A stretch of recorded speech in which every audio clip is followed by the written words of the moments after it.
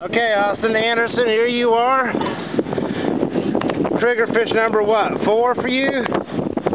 Awesome. Jessica Mommy. Holy cow. Alright, you want to throw them back in the ocean? Yeah. See you later, buddy. Alright, Austin. Good fishing, buddy. Great. And I end with a hook.